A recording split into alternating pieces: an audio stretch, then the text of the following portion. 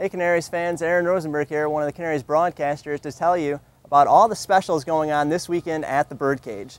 Canaries are coming home for a four-game series against the Kansas City T-Bones. You don't want to miss any of it. Kids get in free all weekend long.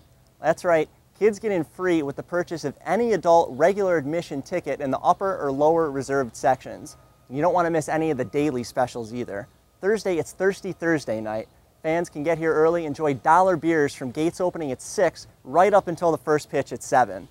Beers are just $2.50 the rest of the way, so please drink responsibly.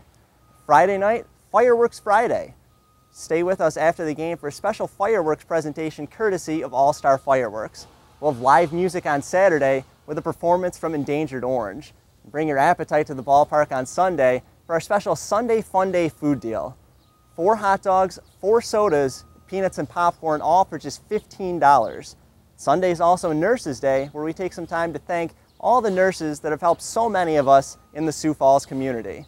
Be sure to check out our website, sfcanaries.com, and to follow us on Facebook and Twitter. We'll see you at the Birdcage this weekend.